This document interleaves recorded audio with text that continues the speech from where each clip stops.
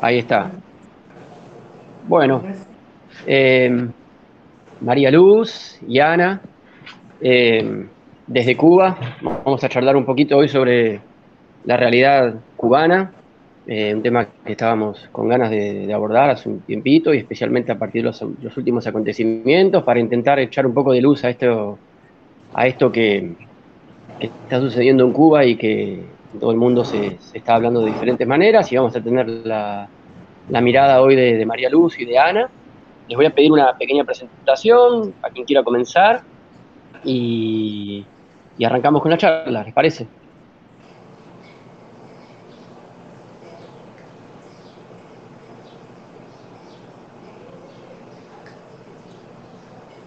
¿Me escuchan?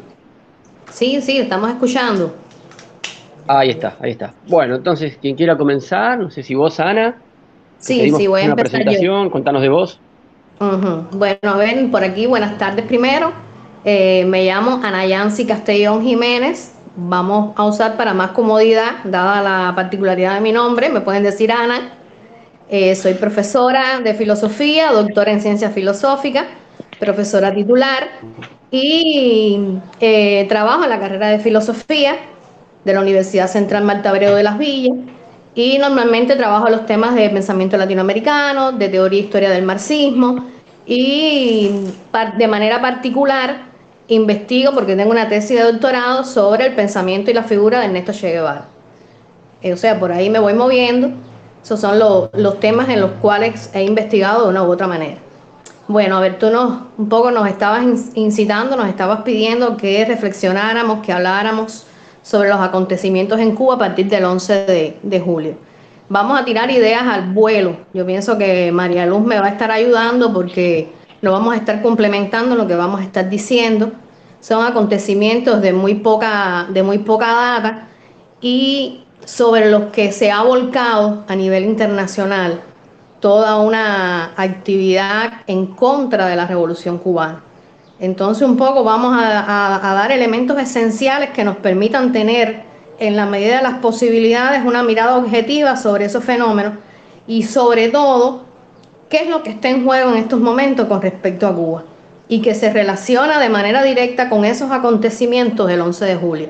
Yo creo que es lo, más, lo que más interesa eh, en este momento y eh, sacar conclusiones que a los revolucionarios, a la gente de izquierda, de uno u otro lugar del mundo, eh, le va a hacer mucha falta para tener una mirada clara y no dejarse arrastrar por la andanada de información que desde las redes se está construyendo en contra de Cuba.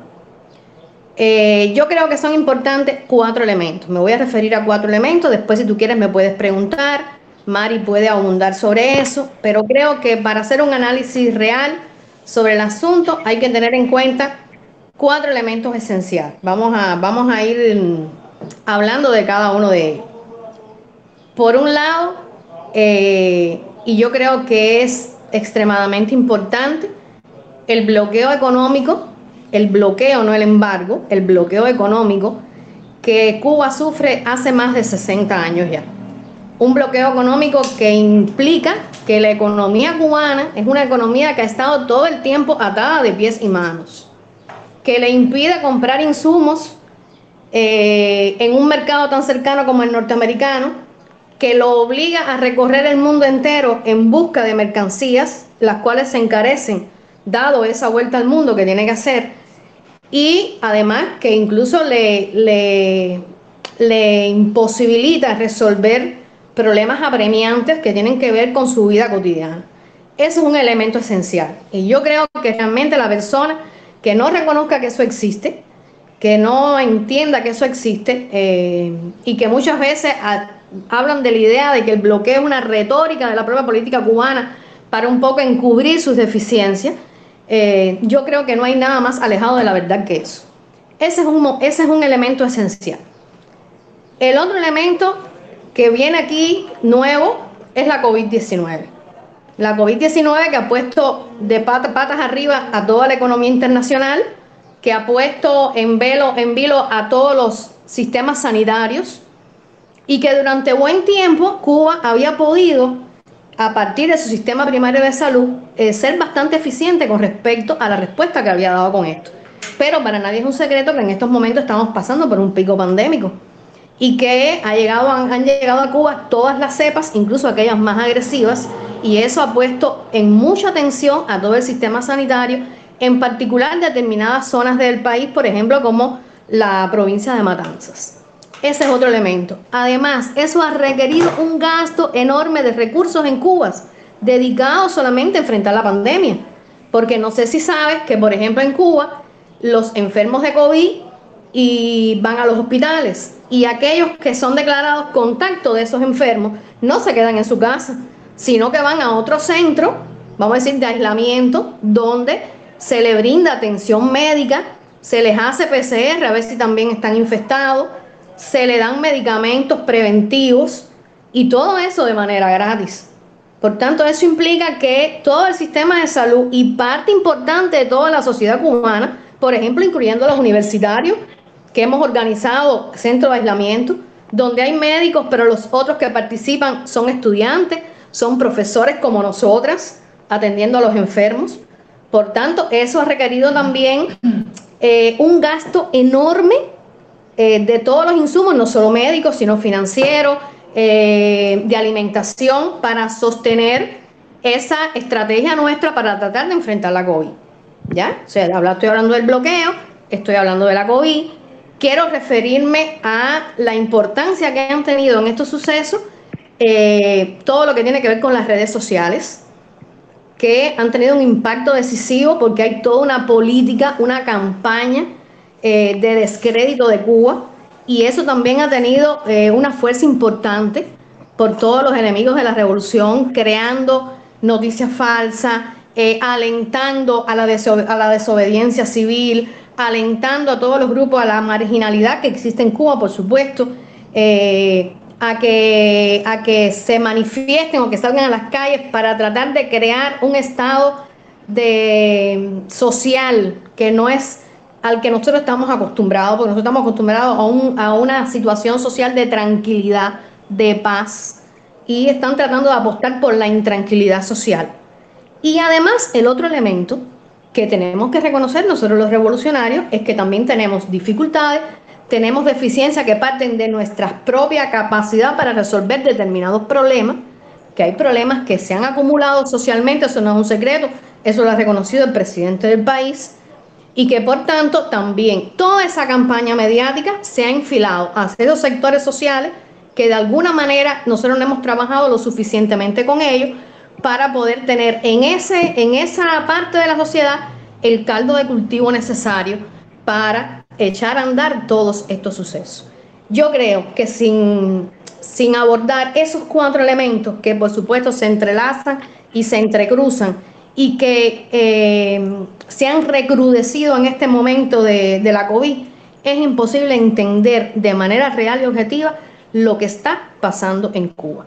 Pero además yo creo que sobre esos cuatro elementos gravita, vamos a decir, el, el elemento esencial, que es tratar de destruir a la revolución cubana, tratar de derrumbar el proyecto socialista, que amén de todas sus dificultades sigue siendo un ejemplo para mucha gente en el mundo, y tratar de regresar a Cuba a su estado anterior al 59, que era un estado de neocolonia, un estado de dependencia absoluta de los Estados Unidos, donde eh, Cuba era el traspatio, el traspatio de los norteamericanos.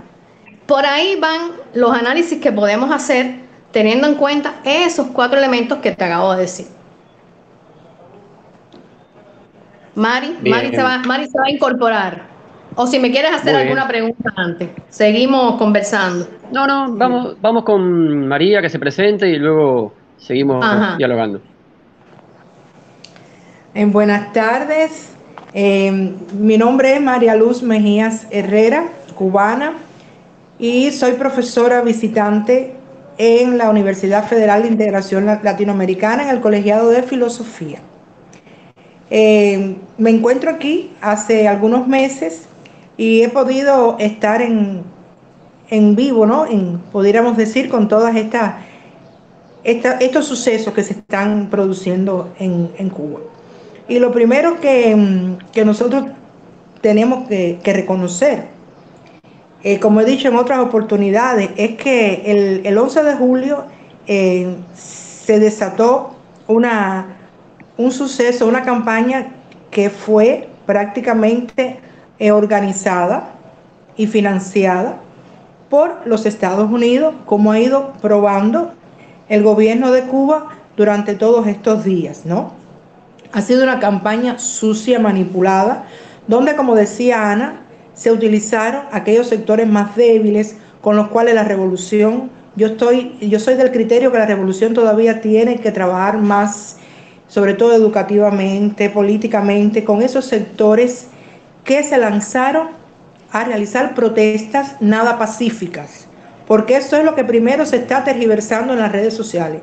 Y hay que dejarlo claro, las protestas del 17 de julio fueron protestas violentas, donde em, el 80% de los participantes en, esa protesta fueron ciudadanos con antecedentes penales, con causas eh, pendientes, eh, incluso reincidentes que se lanzaron con una violencia extrema contra las instituciones estatales, incluso contra instituciones privadas. Incluso fueron apedrados hospitales donde se encontraban niños ingresados.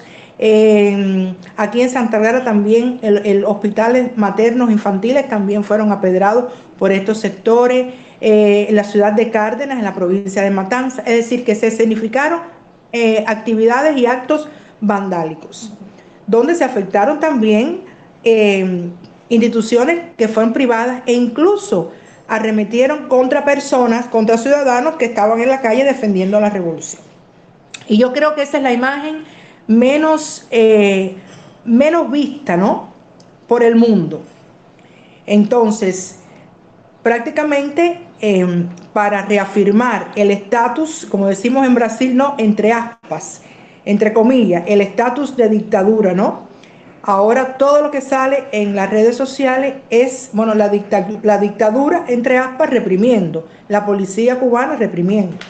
Y hay que tener presente que incluso en la constitución de la República de Cuba, todo el que atente contra la propiedad estatal cubana y, realice actos vandálicos, tiene que procesarse judicialmente. Y todas eh, estas personas que estuvieron protagonizaron estos actos ya están pendientes a ser procesados. Porque prácticamente, yo no sé si, si tú pudiste ver, Sergio, incluso cuando la, policía fue atacada, cuando, cuando los, los, autos de la policía fueron atacados brutalmente con piedra, cuando se volcaron, es decir, se viraron al revés, como decimos aquí en Cuba, con las ruedas, la, las ruedas, las llantas para arriba, atentando contra la vida de los, de los, de los, de los policías. Y prácticamente la policía tiene que defenderse en todos los lugares del mundo. Y la policía trató de eh, mantener estable el orden público en, en este país.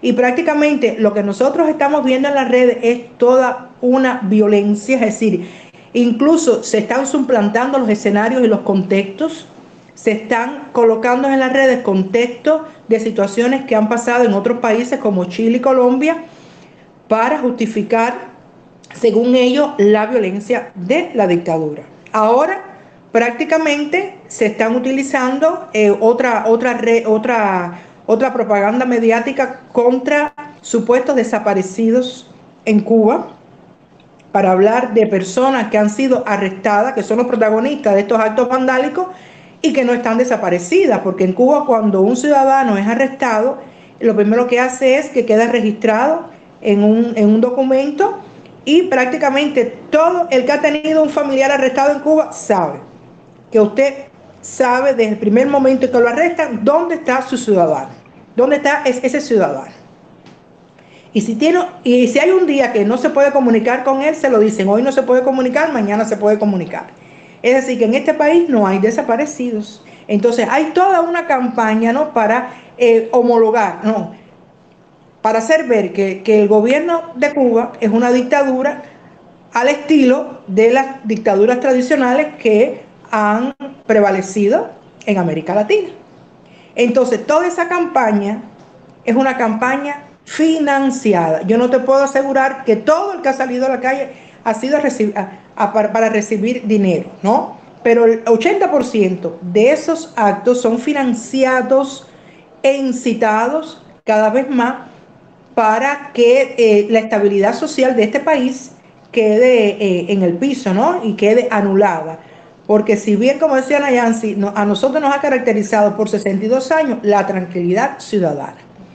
Y sobre todas las cosas, otra cuestión es lograr la desunión entre los cubanos, entre los que estamos dentro, los que confiamos en la revolución, los que, los que no confían y los que están fuera del país. Entonces se ha creado una, un odio y un pronunciamiento de odio entre cubanos, entre cubanos, que ese, que ese es otro de los factores eh, fundamentales, es otro de los objetivos de, esta campaña mediática, desunir a los cubanos para poder quebrantar las bases de, la revolución. Entonces, em, aunque nosotros en estos momentos, en estos momentos, estamos en un contexto de paz, porque las calles cubanas volvieron a la normalidad. Eh, en, un intervalo de tiempo de 24 a 48 horas ya nosotros pudimos respirar, ¿no? Y fueron em, controlados todos, esos escenarios violentos. Nosotros no podemos eh, decir que em, no pueden, suscitar, pueden suscitarse nuevamente, porque es que Estados Unidos y las campañas mediáticas están todavía incitando constantemente en las redes a seguir con los actos violentos violento, a que se desaten la violencia en las calles y a que los cubanos se lancen a las calles para lograr la supuesta libertad. Así que eso es lo que estamos observando diariamente en las redes sociales. ¿Respuestas del pueblo? Sí, eso es otra cosa. Eh, el, si no me falla la memoria, el, día, el día 17 salió eh, un amplio sector de, la población cubana a reafirmar los principios de la revolución y a defender la revolución. Y a, sobre todas las cosas, pronunciarse en contra del intervencionismo militar y de la supuesta ayuda humanitaria. Porque el pregón de una ayuda humanitaria como un golpe suave, porque ahora tenemos el pregón del golpe suave de la ayuda, de la supuesta ayuda humanitaria. Según la contrarrevolución que está fuera de Cuba, según los opositores, nosotros los cubanos no tenemos que tener miedo a esa intervención, esa ayuda humanitaria, porque va a ser tan suave que nosotros no nos vamos a dar cuenta de que llegaron y tomaron el poder, ¿no? Fíjate los efectos psicológicos de lo que está eh, rodando en las redes, circulando en las redes. Que ellos son nuestros hermanos cubanos, que cómo vamos a pensar que ellos eh, van a matarnos, van a destruir el país, que va a ser una cosa tan suave que casi, que apenas lo vamos a percibir y que de la noche a la mañana ya se va a producir el cambio político y los gobernantes, todos sabemos quiénes van a ser los gobernantes, los títeres de Miami, los que la revolución le confiscó sus bienes en el 59 y entonces se están repartiendo Cuba, ¿no? Porque hay una casta en Miami de cubanos que se está repartiendo Cuba, ¿no? Y todavía ellos dicen, bueno, la revolución me confiscó, me nacionalizó un pequeño negocio, pero e, esa tierra es mía, ese espacio es mío. Y cuando yo vaya, expulso a los eh, actuales dueños. Y bueno, yo creo que algo así pasó, si no me falla la memoria, serio, en los países ex socialistas de Europa. Yo, yo creo que hay una experiencia, no me acuerdo si Hungría, Bulgaria, algo, algo similar pasó y no puedo ser muy específica porque no recuerdo bien la, historia,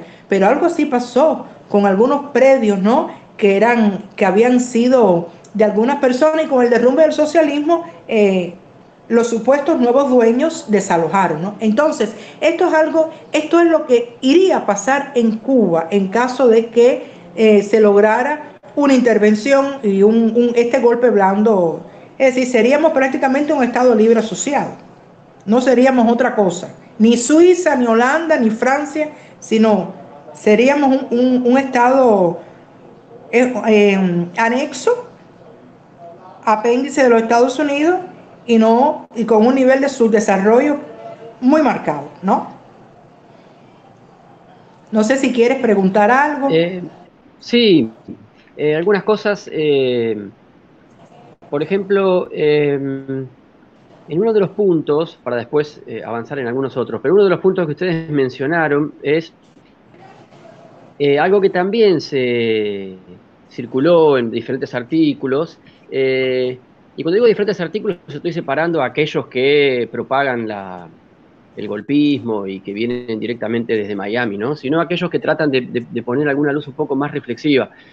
Algo que ustedes dijeron era que hablaron de deficiencias propias y hablaron de trabajar más, que está faltando trabajar más política y educativamente con algunos sectores en los cuales habría que trabajar aún un poco más.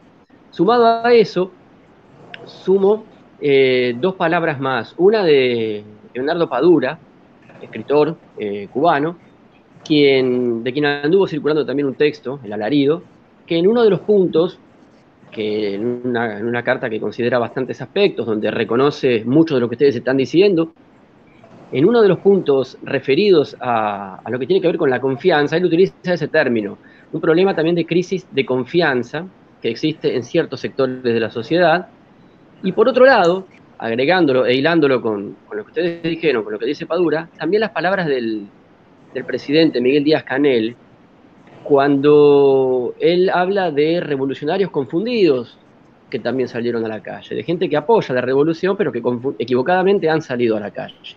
En ese sentido quiero preguntarles, eh, detrás de, esas, de, esos, de esos conceptos, eh, ¿cuál sería o qué creen ustedes que es lo que estaría pasando en esos sectores eh, que el gobierno llamó confundidos, que Padura dice que han perdido la confianza y aquellos sectores que ustedes han mencionado hay que trabajar un poco más.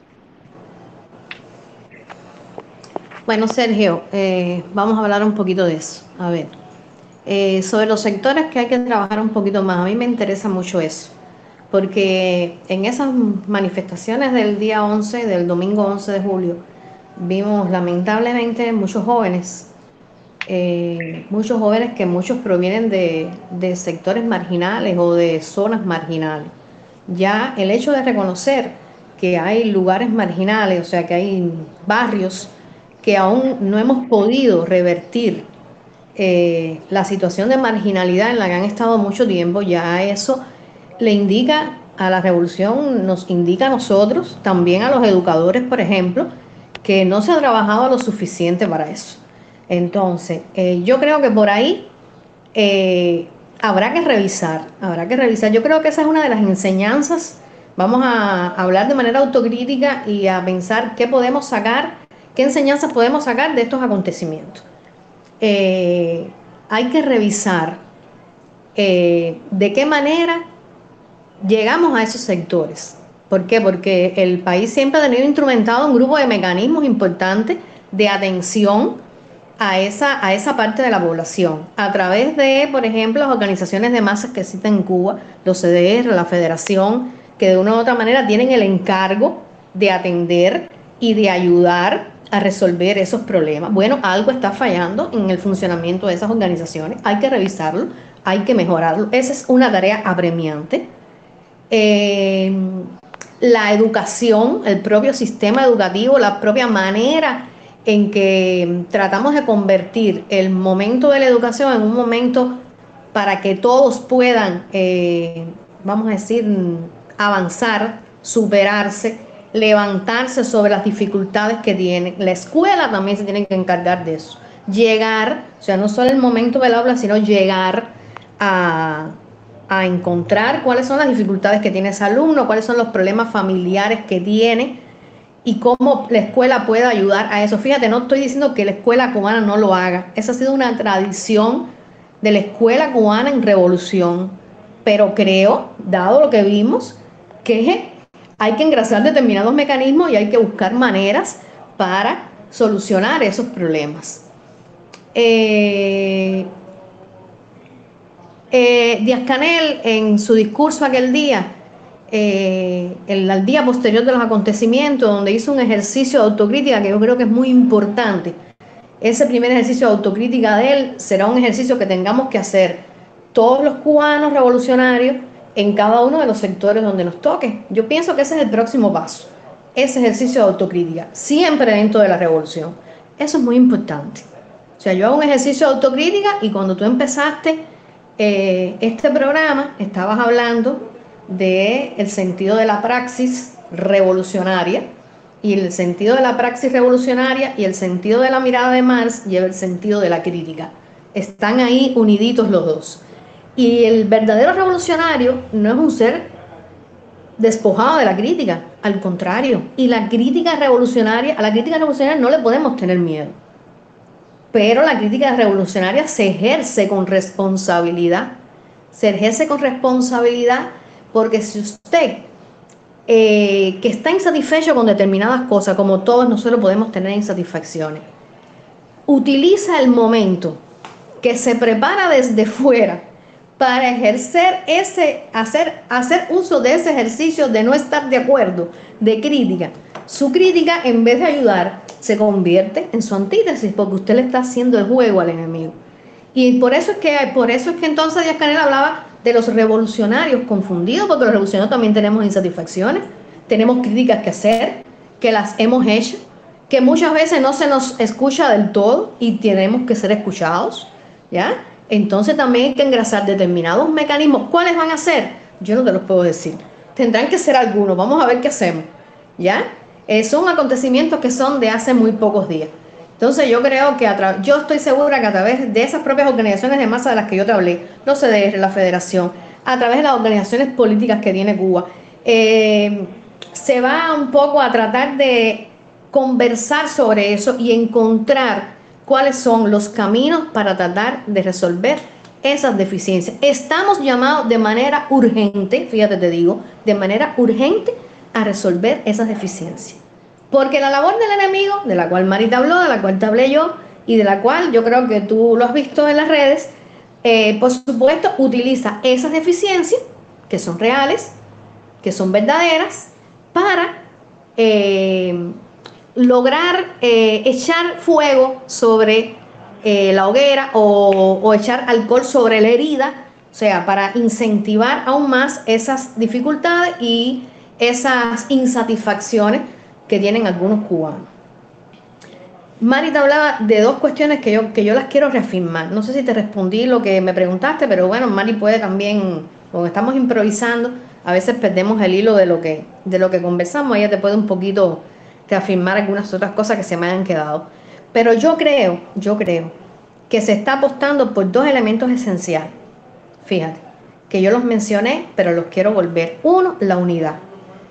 El que, el que tiene un mínimo de conocimiento sobre la historia de Cuba, no estoy hablando de la historia solo de la revolución, estoy hablando de la historia de Cuba antes de la revolución, en todos los procesos de independencia, sabe que el factor unidad fue determinante para el logro de los objetivos de cada uno de esos procesos. Y en muchas ocasiones no logramos lo que, lo que queríamos por no, tener, por no tener unidad, por dificultades a la hora de los cubanos ponernos de acuerdo por un objetivo común que está por encima de cualquier diferencia, de cualquier eh, opinión personal sobre alguien, porque aquí no se trata solo de personas, se trata de una idea y de, y de, y de sostener un ideal que tiene que ver con la independencia de Cuba, más que nada. ¿ya? Y entonces, eh, del 59 hacia acá, hemos sobrevivido a todos los avatares que no han sido pocos, nosotros los cubanos lo sabemos, agresiones externas, eh, problemas internos que siempre hemos tenido económicos, el bloqueo, el periodo especial, o sea, el derrumbe del campo socialista, el periodo especial, cuando nadie apostaba ni un peso por nosotros, nosotros seguimos aquí. Pero eso lo logramos precisamente porque somos un pueblo muy unido y con un alto nivel cultural y de preparación política e ideológica. Entonces, están apostando directamente para eh, fracturar esa unidad, para fracturar esa unidad, para que los cubanos nos miremos con odio unos a otros desde fuera, pero además dentro de Cuba. Porque quiero decirte algo. Ese día 11 de julio puede haber habido muchas personas confundidas, un grupo de gente confundida. Pero lo que nosotros vimos fue muy inquietante. Fue muy inquietante, te lo digo como cubana, te lo digo como mujer, no solo como revolucionaria, te lo digo como madre.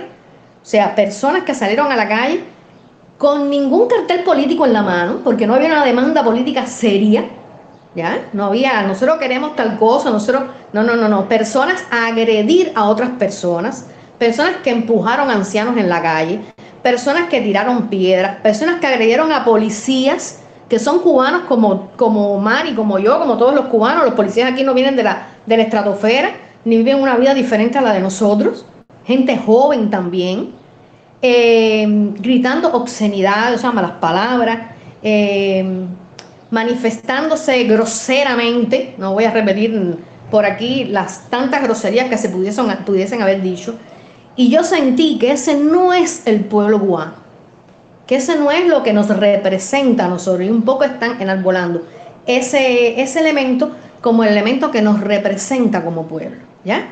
Ese es el, sentido, el sentido que, el primer sentimiento que yo tengo de ese día es primero esa inquietud, es primero eh, no, no, no entender, no comprender lo que estaba pasando a partir de la violencia que se generó en las calles cubanas y también asusado desde el exterior. Y a eso agrégale a alguien que está pidiendo por allá que nos tiren bombas, como si las bombas tuvieran nombres. Entonces, por supuesto, se muestra, puede haber gente confundida, pero hubo mucha gente que se prestó para ese juego, que, que fue pagada para eso, como dice Mari. Y, y, que, y, que, y que en cierto sentido se dejó arrastrar por esa marea. Vuelvo a lo que, al, elemento que inicié. Eso tiene entonces la mirada de entender quiénes fueron los que se dejaron confundir, quiénes fueron los que se arrastraron. ¿Por qué esa gente tan joven se dejó arrastrar por eso? ¿Por qué nosotros no hemos sido capaces de, de, de, permearlo de una cultura política que les, que, les, que les permita entender que detrás de las deficiencias económicas nuestras o detrás de la precariedad económica en la que podemos vivir, hay elementos éticos, hay elementos morales, hay elementos de la cultura patriótica y política que están jugando, que tienen aquí un papel esencial y una, y una carga que es la, determinante. Por ahí, eh, algunas de las cosas que, que me preguntaste. Matizado un poquito por la emoción, yo creo también, y por la mirada que nosotros podemos hacer desde la propia circunstancia que estamos viviendo, ¿entiendes? Sergio, mm, yo creo también que, que después de, que, ha pasado todo esto, ¿no? Nosotros tenemos que ya, de acuerdo a lo que dijo Ana, de pensar, repensar nuestros proyectos educativos, nuestras propuestas educativas, ¿no? Tenemos que, e, esto es una enseñanza que tenemos que trabajar mucho con la juventud, mucho con la juventud. No solamente en las escuelas, sino dedicarle tiempo al trabajo comunitario, ese trabajo comunitario, llegar a los lugares donde a lo mejor no estamos llegando, preocuparnos más por la vida comunitaria de esos, de esos sectores que eh, incluso están sufriendo hoy eh, las carencias económicas y las precariedades económicas, por ejemplo, de aquellas, aquellos sectores, por ejemplo, que no reciben remesas del exterior, que, no están, que no tienen la moneda dura para ir a un mercado, a los mercados que hemos tenido que instrumentar para poder recaudar divisas y comprar otros insumos importantes que tiene que comprar este país. Tenemos que dialogar mucho con esa juventud, porque esa juventud hoy es objeto de esa diferenciación social que está, eh, se está acentuada producto de la crisis económica, producto de, de todas esas, instrumentaciones económicas que, fíjate, que contradictoriamente se han hecho para salvar la revolución, para, para salvarnos de una crisis económica, pero que no, no hemos logrado salir de la crisis y que están trayendo una gran diferenciación social. Entonces, eso es, eso es un fenómeno eh, nuevo dentro de, la revolución, porque la revolución nace con un, con un concepto de igualdad que mm, en cierta medida nosotros estamos viendo que eh, toda esa, diferenciación social está trayendo como consecuencia una falta de credibilidad. Y esa falta de credibilidad es una amenaza, es un reto para la revolución y hay que trabajar con esa falta de credibilidad. Hay que eh, lograr que la gente confíe, que confíe en la revolución, que confíe y, que, que confíe en los dirigentes y confíe en la gente que nos está representando. Y otra cosa, ¿no? Que yo sí creo que es importante, más allá de, de los efectos negativos que nos trae el bloqueo día a día, ¿no? A cada casa, a cada barrio, ¿no? Y a cada rincón de este país, nosotros tenemos que lograr instrumentar estrategias económicas para salir adelante. Fíjate, y, aquí estamos pensando, por ejemplo, en que el bloqueo no se va a acabar ni hoy ni mañana, y a lo mejor no se acaba nunca, fíjate. Muy probable. Entonces, nosotros tenemos que tratar de instrumentar y de articular propuestas económicas que aseguren la calidad de vida y que nos hagan eh, salir de la crisis económica. El, el, bloqueo todo el mundo sabe lo que significa para este país, pero nosotros tenemos que articular desde dentro cuestiones que nos hagan eh, florecer económicamente, que nos hagan ir saliendo poco a poco de la crisis. Me estoy refiriendo, por ejemplo, que tenemos, tenemos que ser capaces de producir. Tenemos que ser capaces de producir, tenemos que ser capaces de producir para no importarlo todo. Tenemos que estimular a la gente para que trabaje. El salario tiene que ser una forma de vida las personas con su salario tienen que comprar, tienen que comprar lo que necesitan para satisfacer sus necesidades. Esas cuestiones nos tocan a nosotros y no podemos estar dándonos el lujo a estas alturas de equivocarnos con las estrategias económicas y políticas que estamos instrumentando. Tenemos que dar pasos certeros, no podemos improvisar, porque no estamos, porque cada error nos puede costar eh, muy caro, ¿no? En esta lucha por, construir el socialismo. Y yo sí creo que eso es muy importante, rescatar la confianza, la credibilidad y que las personas eh, sientan la necesidad de vivir en este país, que salir del país a trabajar fuera del país, a estudiar fuera del país, no sea la meta número uno del ciudadano cubano. Que la gente quiera vivir en este país y no quiera emigrar. Que el cubano no quiere emigrar, que el cubano quiera vivir aquí con todos sus problemas económicos y sociales eh, resueltos, ¿no? Que no tenga que emigrar. Eso es un, grave problema que tenemos.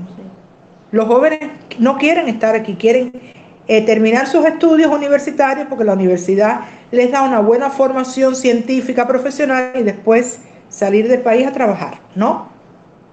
Entonces, eso, eso es un problema que tiene este país y yo creo que tenemos que resolverlo para lograr que la juventud se nos quede aquí. Y hay otros problemas. Eh, Déjame apuntar algo que lo pensé ahora cuando Mari estaba hablando, que eso que estamos obligados a hacer, como Mari decía, no solo son, no solo tiene que ver con estrategias meramente económicas, fíjate.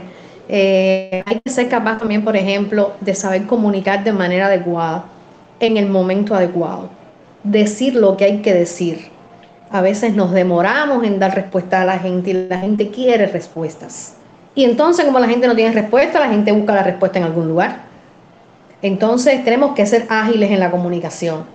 Tenemos que lograr desprendernos, acabarnos de desprender de todos los mecanismos burocráticos que entorpecen cualquier tipo de decisión que vayamos a tomar, cualquier ejercicio que tengamos que hacer, porque eso demora, porque eso irrita tenemos que lograr que los cuadros, o sea, los cuadros políticos y los jefes, los empresarios, todo el que dirija, mira, sea ejemplo. No, no, no podemos permitir que ninguna de esa gente que está ocupando un cargo mm, al frente de, un proceso pueda ser señalado con el dedo, pueda ser criticado. Esa persona tiene que ser ejemplo, tiene que cumplir, tiene que tener determinadas cualidades que le permitan ejercer con, verdadera, con verdadera, vamos a decir, con un verdadero poder político, un verdadero poder de, tomar decisiones que sean creíbles. Y eso es algo que nos, que nos ha estado fallando, la formación de nuestros cuadros. Y ese es un elemento muy, muy, muy importante que pasa también por lo que tú nos preguntabas la credibilidad. O sea, para que la gente sea creíble, las personas tienen que ser ejemplos, las personas tienen que confiar en ellos. Las personas tienen que sentir que esa persona forma parte del mismo pueblo en el que tú estás.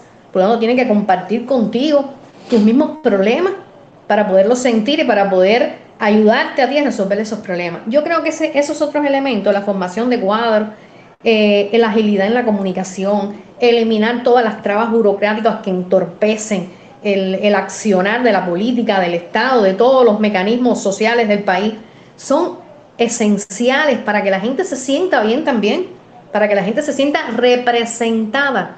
Y además la capacidad de participación, también hay que encontrar mecanismos que permitan un mayor grado de participación real de las personas. Hay mecanismos en Cuba creados, pero esos mecanismos, a través de los órganos del poder popular y todo lo demás, son mecanismos que, que, hay que engrasarlos y que hay que buscar otras formas de participación donde la gente realmente sienta que están siendo representados, sienta que están siendo escuchados y sientan además que se les va a atender y se les va a resolver el problema que tienen. O sea, la idea de que el socialismo es una mejor, un tipo de sociedad mejor porque el hombre está en el centro, tiene que ver además con los asuntos meramente económicos, que son importantes, porque es la vida cotidiana, es la vida diaria, es la vida a la cual usted tiene todos los días que enfrentarse y resolver. Además de eso, el hombre tiene que sentirse realmente el centro. Todos los hombres, el hombre social, que se supone ser el socialismo, donde estamos todos los hombres individuales. Entonces, ese elemento de la participación ciudadana real y concreta tiene también que encontrar alguna salida, alguna, algún esquema nuevo, alguna característica nueva que permita que pueda eh, airar la sociedad y pueda eh, encontrar una solución a todas estas dificultades que tenemos. Em, ¿Quieres preguntar? Uno, uno, de los, sí, uno de los puntos que también tocaron y que yo quería también abordar, así como ahora han hecho un gran ejercicio de reflexión hacia adentro, hacia lo que pasa dentro de la, de la revolución también, eh, quería enfatizar también en la cuestión del, bloqueo. ¿Por qué decimos bloqueo y no embargo, como dice Estados Unidos?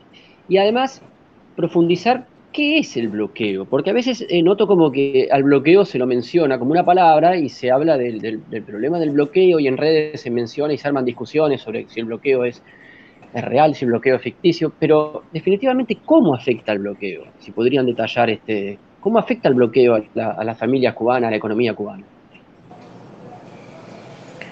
Bueno, imagínate que, que, una de las cosas fundamentales que, que nos impide el, blo el bloqueo, porque el bloqueo es un bloqueo y no solamente comercial, es en todos los ámbitos, que impide incluso que terceros países que terceros países comercialicen con nosotros. Es decir, que no es un problema solamente Cuba-Estados Unidos, así que Estados Unidos involucra a otros países cuyas leyes internas no, no, no, les afecta, no les afecta comerciar con Cuba, ¿no? Entonces, prácticamente Estados Unidos manipula, amenaza, chantajea a todos los, a una cantidad de países enormes para que no nos puedan comerciar, no nos vendan las cuestiones básicas que nosotros necesitamos. Alimentos, eh, medicamentos, sobre todas las cosas, no solamente con Estados Unidos, que es un país que, lo que tenemos ahí cerquita, ¿no?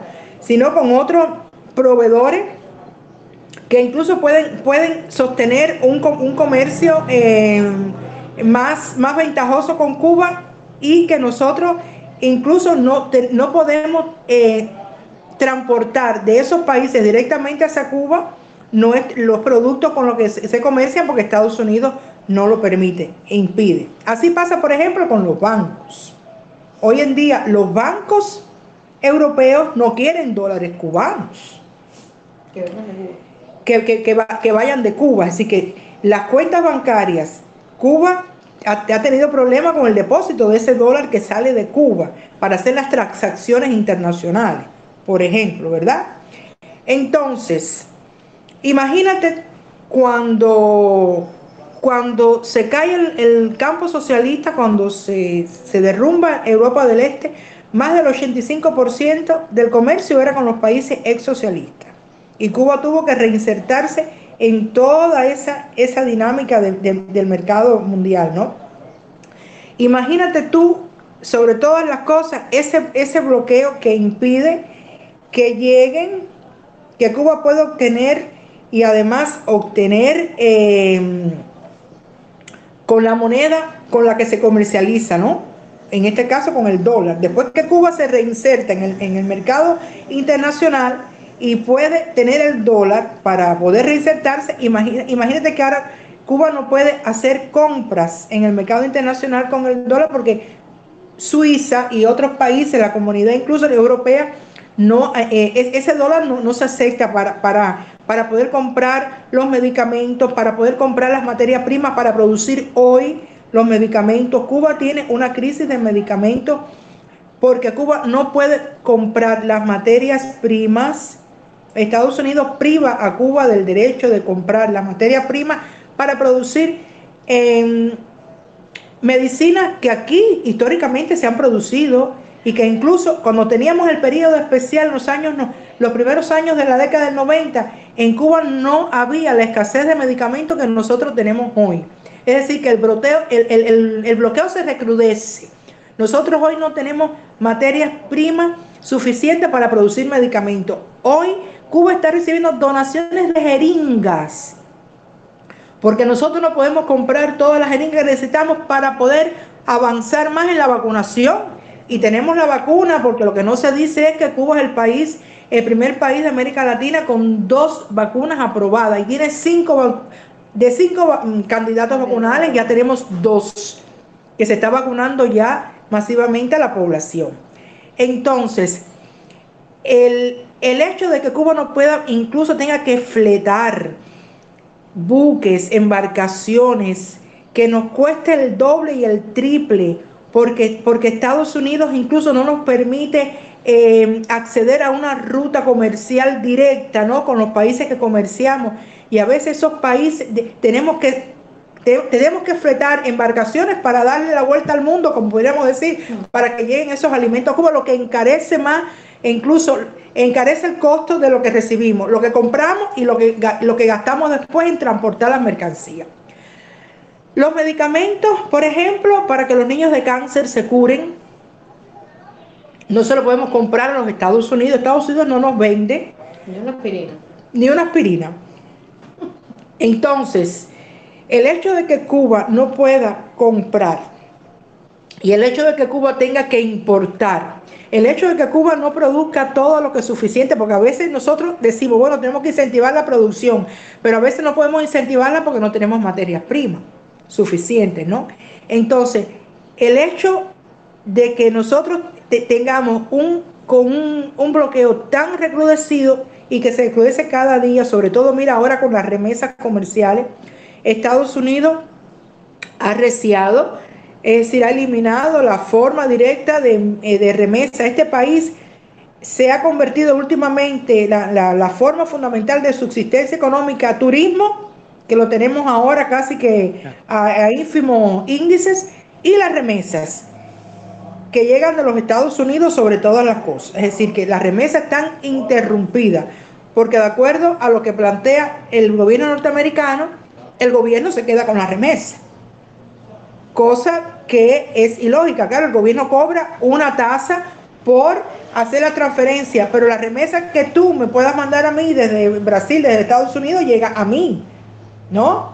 La recibo yo, que soy el beneficiado, ¿no? Entonces hay toda una campaña con que el gobierno se queda con la remesa y hoy en día es decir, que están suspendidas casi todas las remesas. Incluso la Western Union, tú sabes que operaba en Brasil, operaba en muchos países que ya ningún país del mundo donde, donde la, Western Union tenga su, su, su espacio puede enviar dinero a Cuba de ningún tercer país. Entonces, esas son cuestiones que afectan la vida del cubano desde que amanece, desde su desayuno, desde su comida. Y no estamos diciendo que en Cuba se pasa hambre, ni que la gente se acuesta sin comer, pero sí nosotros tenemos una afectación en la calidad de vida, en la calidad de alimentación, en los medicamentos, en muchos de los, de los equipamientos que necesitan los hospitales porque no podemos comprarlo directamente a los países que lo producen porque ahí está la mano de los Estados Unidos impidiendo que, eso,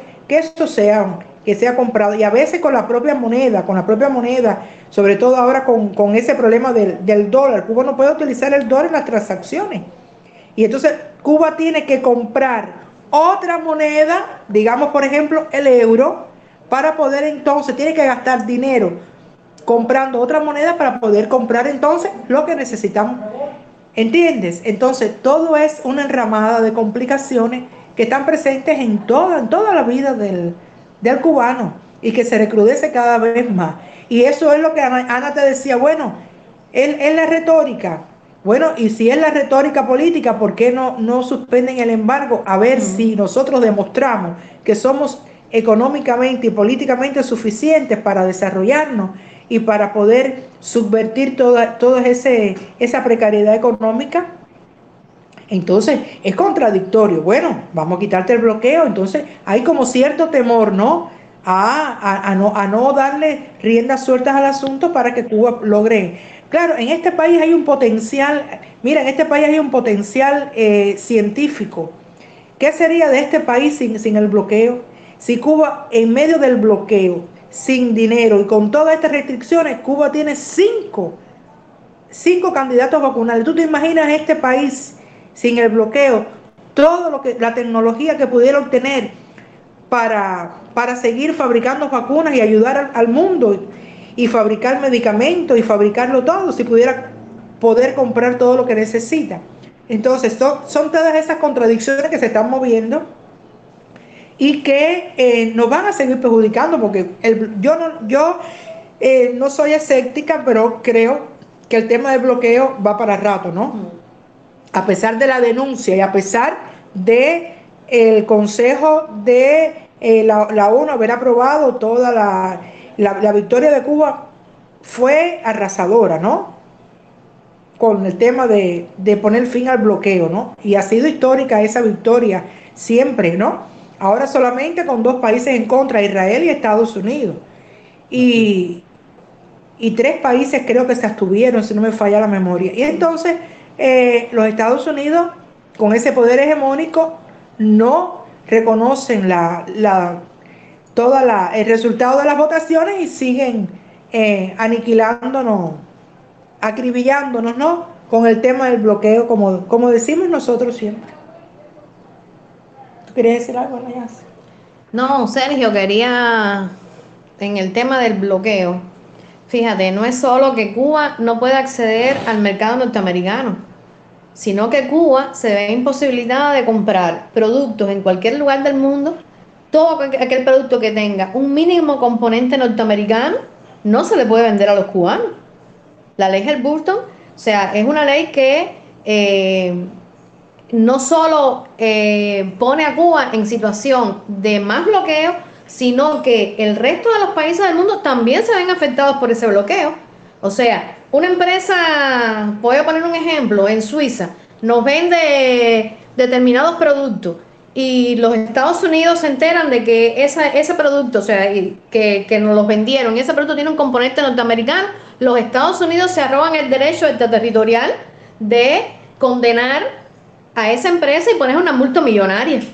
Por tanto, incluso aquellos amigos nuestros en el mundo que de una u otra manera nos han estado ayudando, nos han estado vendiendo, lo hacen casi que de manera clandestina, porque eh, pueden estar sujetos a todo ese grupo de represalias de los Estados Unidos. Mira, en medio de la pandemia, los Estados Unidos se negaron a vendernos a los cubanos, eh, ¿cómo se llama esto?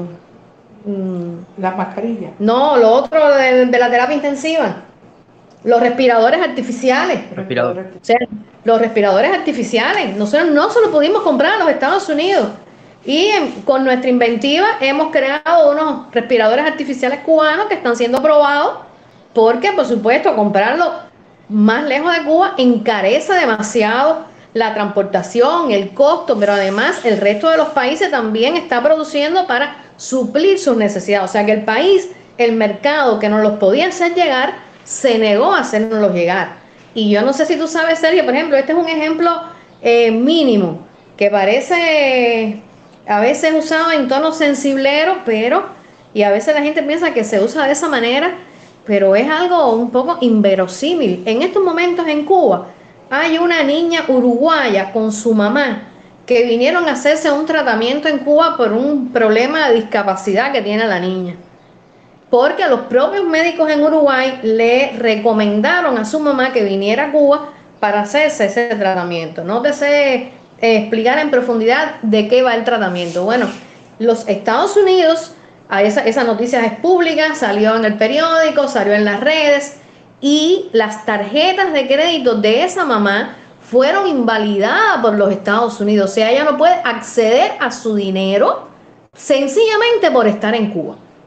Entonces tú, a, veces a ti te parece un poco, un poco no creíble, increíble que se utilice una presión política donde hay un problema humano, un problema de una necesidad de sanidad. Y así ocurre permanentemente en la, en la vida del, del cubano. Nuestra propia vacunación, nosotros tenemos las vacunas aprobadas y, y, se ha trazado un poco la vacunación, está, está caminando por toda Cuba. Nosotros aquí en Santa Clara empezamos ya la semana que viene, estamos contentísimas con eso, con nuestra vacunación, nuestra vacuna Agdala. Pero esa vacunación hubiese podido haber sido más rápido si nosotros hubiésemos podido, tuviésemos todos los insumos, sobre todo de la jeringa, pero no los podíamos comprar, no nos dejaban comprarlo. Por suerte, gracias a la solidaridad internacional, en estos últimos días han estado arribando a Cuba insumos de jeringa en, actos de México, de la CELA, de distintos de la Organización Mundial de la Salud o la Panamericana de la Salud. O sea, todo el mundo nos ha estado ayudando y por lo tanto ya están todos los insumos que tienen que ver con eso para que la vacunación eh, ocurra de manera más rápida. Y, yo, yo, creo que el bloqueo, eh, por supuesto, los cubanos sabemos que no es retórica, porque nos obstaculiza mucho el trabajo que pudiésemos hacer con mucha mayor rapidez. El propio hecho de las vacunas, no creas que ha estado exento de zancadillas del bloqueo para que los científicos tengan también toda la materia prima para poder eh, producir con mayor rapidez también todas esas vacunas. De hecho, voy a, reiterar lo que Mari dijo porque creo que es eh, el llamado internacional. Bueno, si realmente dicen que el socialismo es tan ineficiente, que el socialismo no rinde económicamente lo que debe, bueno, quítenos el bloqueo. Quítenos el bloqueo para no tener justificación ninguna. Ya que es una justificación, quítanos. Y entonces ya para demostrar que somos ineficientes, pero no, no, no, no quieren serio. No quieren porque políticamente no les conviene porque pudiésemos demostrar muchas cosas y muchas cosas que realmente podemos hacer. ¿Qué pasa con Mar? Bueno, y, si nos quitan el bloqueo, ¿de, qué van a vivir, no? la gente de Miami. ¿De qué va a vivir la, gente de Miami? Que tiene sueldo, ¿no? A base de toda esa campaña y toda esa política. Entonces, es, todo eso. Realmente es todo eso. Un poco de todo, ¿no? Eh, María y Ana, eh, realmente hay, hay, muchísimo para hablar y mm, a mí me gustaría en alguna otra oportunidad seguir contactándonos y, seguir conversando y además vamos a ir manteniendo el contacto también eh, fuera de, la grabación. Y mm, bueno, agradecerles, eh, pedirles eh, alguna reflexión final que quieran hacer, algo que les haya quedado en el, que merezca la pena ser mencionado. Bueno, yo creo que mm, hoy, hoy día, ¿no? Con estos sucesos de, sobre todo de Cuba, ¿no? Porque mm, todos los cuestionamientos que está de lo que está pasando en Cuba, por ejemplo, asistimos hace unos hace un tiempo a lo que pasó en Colombia, a las manifestaciones de Colombia y, y, nadie nadie dio por eh, nadie hizo la campaña, ¿no? de denuncia, ¿no? Pero bueno, son contextos diferentes, pero bueno, son procesos también importantes que hay que atender en, América Latina, ¿no? Yo sí creo que ningún escenario hoy en día está teniendo más atención, ¿no? Más que Colombia, incluso, y todo lo que pasó, que los sucesos de, en Cuba, ¿no? Y yo creo que sí, em, esto nos ha demostrado a veces el poco profesionalismo que tienen los medios, ¿no? El servilismo de los medios, del periodismo, eh, del, el, poco escrúpulo que hay, la poca objetividad para, para hablar de, las políticas, ¿no? Y de los procesos que tienen lugar en un país determinado. Yo creo que eh, en tiempos en que se requiere y se recaba de la ética profesional, estamos eh, viendo las ausencias en los espacios de, de todos estos elementos éticos para hablar desde posiciones eh, profesionales, aunque estemos en desacuerdo con ideología y con postura política, yo creo que hay que respetarse mucho para tergiversar, para dejarse manipular. Y en muchas ocasiones eso es lo que estamos eh, viendo, asistiendo, la manipulación mediática, ¿no? Personas que no tienen escrúpulos para eh, acceder a la, plata traicionando los principios éticos que tiene que tener un profesional. Yo creo que son tiempos de, eh, más allá de posturas políticas e ideológicas, de tener un, compromiso con la profesión y de reflejar la verdad, la verdad con objetividad. Y sobre todas las cosas, los latinoamericanos, ¿no? Eh, eh, recordar lo que decía Martí, que un error en Cuba era un error en toda América, ¿no? Y que salvándose Cuba se, salvaba toda América Latina también, parafraseando a Martí. Y yo creo que son tiempos en que América Latina tiene que defender eh, la causa de Cuba y, hacerse em, eco de que Cuba tiene que salvarse y tiene que resolver sus problemas internos ella sola, sin injerencia, porque yo creo que América Latina tiene aires muy anticomunistas, pero sí tiene fuertes principios antiimperialistas, ¿no? Entonces, yo sí creo que el mensaje de los latinoamericanos tiene que ser un mensaje antiimperialista y de autodeterminación. Nosotros los cubanos, como el resto de los latinoamericanos, tenemos que resolver nosotros solos nuestros problemas y nuestras dificultades que la tenemos en todos los órdenes, pero tenemos que resolverlas nosotros. Creo que esto, ese es uno de los mensajes más importantes. No sé si si tiene que... Sí, a... Eh, Sergio, primero, darte las gracias. Darte las gracias por esta oportunidad, por dejarnos decir nuestras opiniones, nuestras verdades. Yo quiero que, que es importante tener presente, ya que Mari trajo a Martí a colación, yo voy a traer al Che Guevara, que dice al imperialismo ni un tantico así. Y aquí de lo que se trata es de la independencia y de la autodeterminación de Cuba y la sobrevivencia de la revolución. Y en función de eso vamos a hacer todo lo necesario, perfeccionar, perfeccionar y tratar de mejorar nuestros errores, pero creo que no se le puede dar una brecha, un momento a los enemigos de la revolución y a los enemigos de, las mejores ideas en pos del, mejoramiento humano. Ese es un elemento importante. Y el otro elemento, que por eso también te estoy felicitando eh, y te estoy dando las gracias, es porque creo que hay otro momento en el cual el Che nos dice que los jóvenes tienen una tarea. Y el Che dice estudiar, estudiar y estudiar. Sea, hay que tener, eh, hay que estudiar, hay que tener cultura política suficiente. Hay que saber la historia, no solo de Cuba, sino de América Latina para entender lo que representan los Estados Unidos para América Latina y por dónde vienen eh, las raíces de este conflicto con Cuba y cuál es la pretensión final de los Estados Unidos para con Cuba. Yo pienso que por ahí, por eso te estamos dando las gracias. Nos ha encantado la posibilidad de, poder hablar por aquí contigo y hacer alguna reflexión. Yo creo que hemos hecho una reflexión aquí colectiva y un poco hemos sacado, hemos improvisado un poco algunas ideas de las cuales no es la primera vez que la, que la habíamos hablado. Así que gracias, Sergio. Gracias, Sergio, amigo querido. Eh, gracias por tu, Gracias a ustedes. Por la oportunidad. Gracias a, muchas gracias a ustedes y bueno, por supuesto el espacio está abierto y bueno, para quienes conocimos Cuba y estuvimos algún tiempo, eh, algunos cuantos días caminando y recorriendo distintas partes de, Cuba con una visión más allá del recorrido meramente turístico, eh, sino hablando con la gente y demás, por supuesto que no nos es indiferente, nos duele y al mismo tiempo nos esperanza, nos sigue esperanzando. Así que, bueno, desde aquí nuestra solidaridad, nuestro abrazo y, bueno, estamos en contacto y este espacio está abierto. Gracias, Sergio. Gracias. Un beso, abrazo. Chao. Abrazo grande. Chao.